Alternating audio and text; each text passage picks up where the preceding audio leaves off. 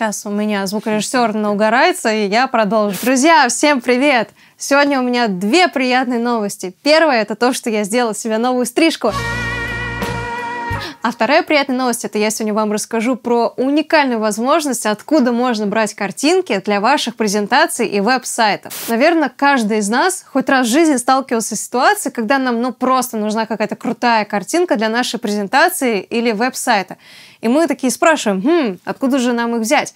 Конечно, бывают бесплатные источники для поиска картинок, фотографий, разных там видео и платные источники для супер прошаренных Ultimate пользователей.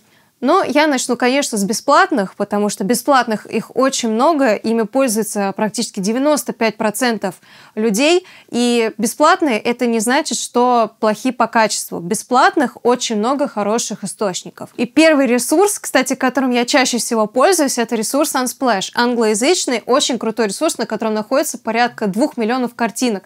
Просто представьте себе, сколько там картинок. Это очень много, и причем они все качественные. Вы их скачиваете реально в супер, э, не знаю, шикарном формате от 3000 пикселей на 5000. Мне, кстати, он очень помогает э, в моей работе э, в институте, когда я делаю разные, разного рода презентации для студентов, для абитуриентов и других пользователей. Второй гениальный источник – это Pixabay. А, очень грамотно, кстати, разделены на этом источнике фотографии по категориям. Очень легко их на самом деле найти. Перед тем, как скачать фотографии, вам предлагают зарегистрироваться. Спокойно это делайте, спам вам не приходит никакой на почту, если вы сами того не хотите, не, наж не нажмете на галочку. Третий источник называется Pexels. Огромный, просто невероятно огромный источник с а, большой базой как векторных, так и растровых изображений. А, очень удобный поиск, тоже всем советую. Еще один источник Life of Pix.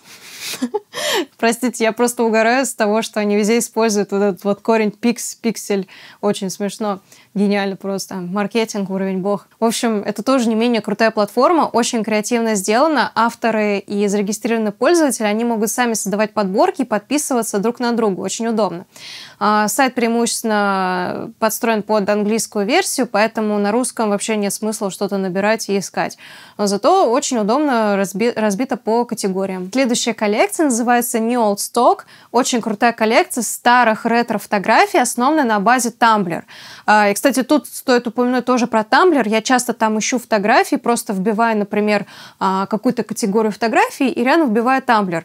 И у меня автоматически даже в том же Гугле появляются очень красивые атмосферные фотографии, причем они без какой-либо лицензии, просто спокойно берите и не парьтесь. Источник Morgfile тоже не менее крутой, регистрация не нужна, просто скачивайте абсолютно бесплатно фотографии. Еще один сайт, который мне показался максимально креативным, называется Gratisography. Посмотрите просто, насколько он круто сделан просто нереально стильно, клево, в отличие там от предыдущих источников, и очень красивые креативные фотографии на нем размещены. Еще один классный источник называется Flickr, вы тоже про него, наверное, все знаете. А, мне он тоже нравится, напоминает э, некоторым образом Unsplash, э, тоже очень много классных красивых фотографий, пейзажиков разных, там природы, вот очень люблю оттуда это скачивать. Была также забавна у меня там ситуация, когда я какое-то время думала, что это просто твой личный блог, на который ты можешь просто выкладывать фотографии, фотографии, они просто у тебя там светятся. Но в один прекрасный момент я увидела, как с этого сайта у меня начали просто тыбзить фотографии, и мне это, конечно же, не очень понравилось, потому что я тогда была мало знакома вообще с этой платформой. Это было буквально 4 года назад.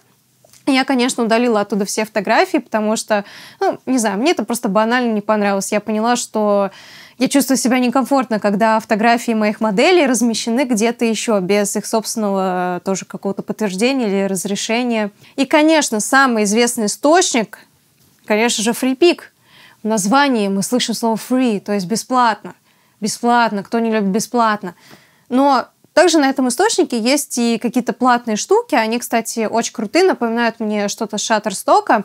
А, можно найти там хорошие фотографии, но он, конечно, беднее по своим ресурсам, чем остальные какие-то э, источники, да, которые я уже упоминала, но однако там очень много хорошей векторной графики. Вот для графических дизайнеров и для тех, кто хочет векторной графики оформить э, что-то у себя, это будет очень довольно-таки полезно. И сейчас я вам расскажу про самые лучшие источники, с которых можно платно скачать фото, видео и векторную графику. Ну, конечно, кто не знает в первую очередь про Shutterstock. На самом деле это сейчас номер один, откуда можно действительно скачать кучу всего, всего того, что просто ты захочешь. Я не знаю, вплоть от фотографий балерин до каких-нибудь футажей 8 миллиметров зерном. Очень крутой источник. Иногда задирают цены, но я считаю, что это справедливо за ту работу, которую выполняют э, люди, размещая э, свой материал на сайте. Еще один очень крутой источник, который мне безумно нравится, называется Getty Images. Наверное, каждый из нас видел фотографии какого-нибудь Ози Осборна с 70 70-х годов, и э, там было подписано что-то вроде Getty Images.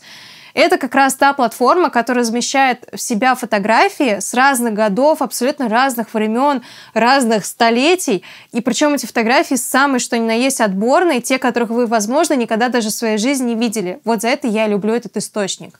Image Source тоже неплохой источник, откуда можно платно скачать фотографии. И что мне действительно там понравилось, это удобный предпрос предпросмотр фотографий, которые вы можете посмотреть в большом разрешении. И сейчас такой будет нюанс. Есть такой источник, который называется Лори.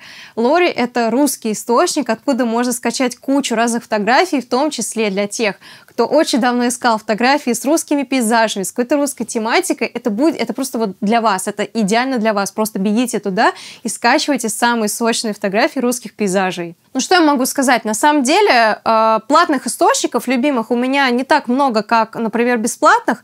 Опять же, мы каждый для себя выбираем, откуда нам скачивать.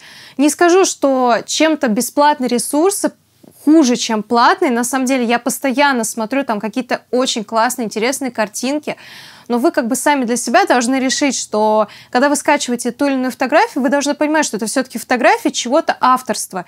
И, скорее всего, вам придется где-то это подписать, допустим, если вы делать какой-то пост, использование этой фотографии в соцсетях, лучше на самом деле подпишите э, эту фотографию, да, несмотря на то, что там есть ваш уже готовый дизайн, пожалуйста, просто подпишите, поддержите фотографа. Он старался на самом деле бесплатно для нас всех, для нас всех дизайнеров, арт-директоров, не знаю, моушен дизайнеров, для всех тех, кто просто хочет взять какую-то картинку и сделать из нее что-то клевое.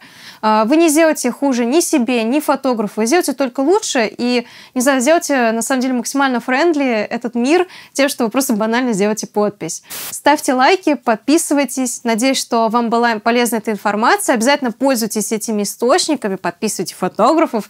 Еще раз вам скажу. Вот. Э, всем спасибо, всем пока.